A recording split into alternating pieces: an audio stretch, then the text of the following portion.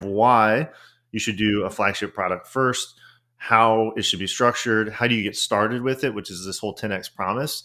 And then once you have a 10x promise, then the price sort of becomes automatic. And if you're not sure where to start, do it for 60 days, do it for $2,000, get five people in, and now you've got product market fit, and now you've got a sold out case study, all the goodness.